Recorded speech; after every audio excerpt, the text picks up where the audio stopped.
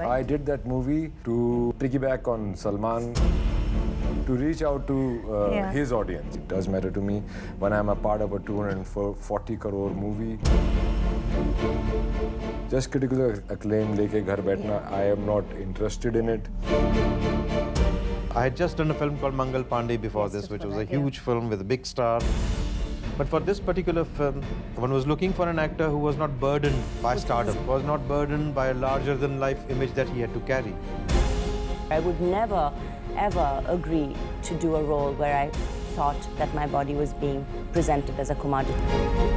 I have been asked to do that before and I have never agreed. Hi, this is Nandana. Hi, this is Ketan Mehta. Hi, this is Randeep Hooda and you're watching me on We tonight With- with Madhuri. Madhurita only on Zoom. Zoom.